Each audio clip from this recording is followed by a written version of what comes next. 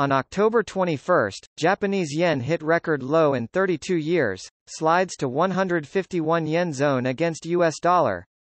On October 21, the Internal Affairs Ministry reported that CPI from September shows that inflation rate is 3% which is record high inflation rate in 31 years.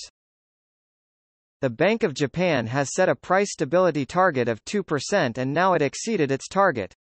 Japan had been deflational economy and hasn't had any raise on prices for long time.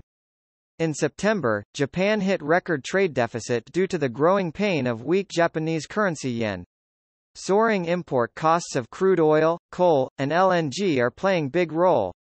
Prices of 6,699 items increased in October, that is 2.8 times more items compared to September.